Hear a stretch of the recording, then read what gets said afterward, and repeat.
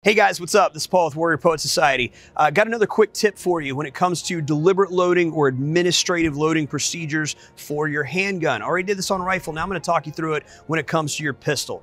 Whatever your mission context is, whatever that deliberate administrative load is, it's the first load of the day. Uh, you started your training day out on the range. You're getting everything gassed up, ready to go or you are going out, uh, you know, just conducted some weapons maintenance, You've got your gun put back together, you need to get it back into its duty configuration or home defense configuration or everyday carry configuration, whatever that is for you, okay?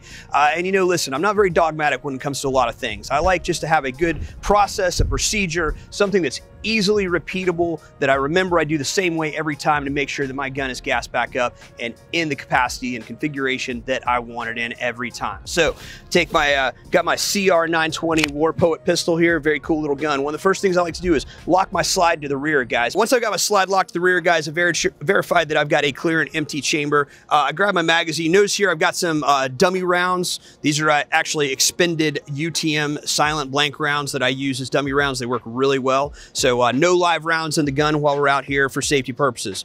Insert magazine, and then I'm gonna let the slide go forward. Get my gun back into battery, either by using the slide stop lever uh, with my support hand, firing hand, reaching over the top, grabbing the slide, uh, rolling gun inboard, and slingshotting it this way. There's a lot of different ways to do this, guys. Then I like to conduct a press check. Uh, take the gun slightly out of battery, reaching up here just behind the muzzle. Make sure that I've got a round chambered, and I'm good to go.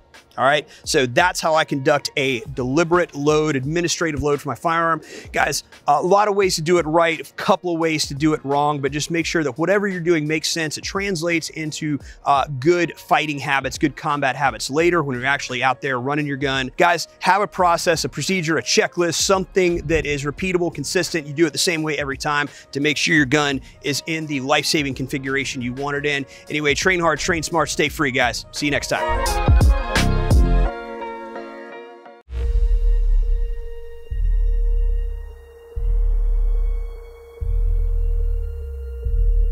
My name is Will Stelter. Welcome to my shop and to my class on knife making. I like to start off with smaller knives, generally because you get those fundamentals faster.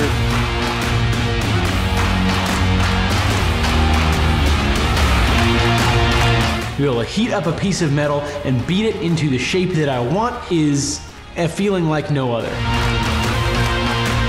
Excited to share with you what I've learned in the last 10 years of knife making.